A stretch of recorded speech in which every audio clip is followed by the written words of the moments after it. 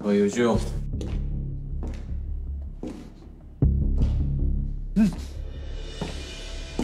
오랜만이다. 너 고성지 이 자식.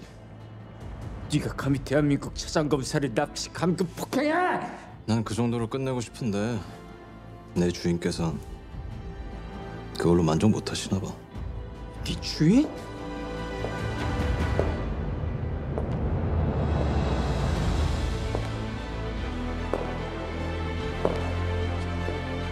장모님. 잘못했으면 대가를 치러야지.